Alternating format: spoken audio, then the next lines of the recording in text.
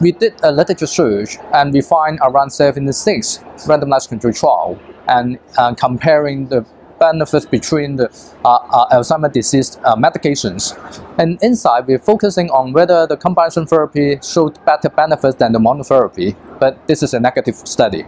We find uh, combination therapy did not show benefit than the monotherapy, and some ACE inhibitors even show better than the combination therapy.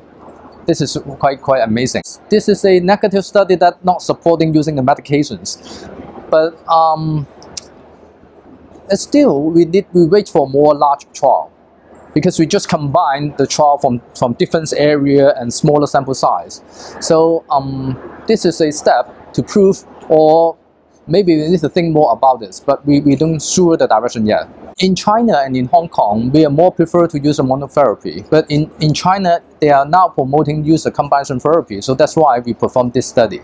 Yeah, and, and we also observe, observe that uh, the American guidelines suggest using the combination therapy, but, but it's not quite sure for the European and the British.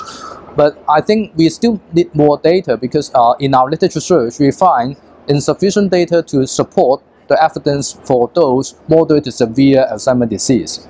But our research mainly focused on the mild to moderate, and the benefits did not show very good.